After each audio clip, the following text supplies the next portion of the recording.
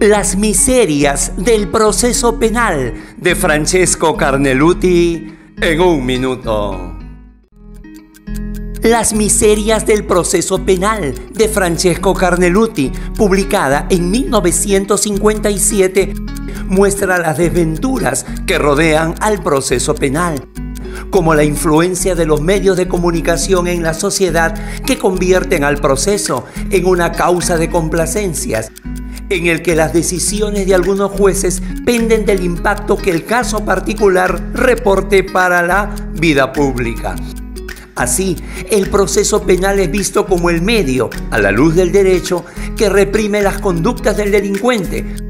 pero se perfila a tal grado insuficiente que la sociedad no se conforma con la condena y siente la necesidad de repudiar aún más la conducta delictiva e imponer su propia sanción a pesar de que el condenado ha compurgado la pena. Carneluti lo denomina incivilidad.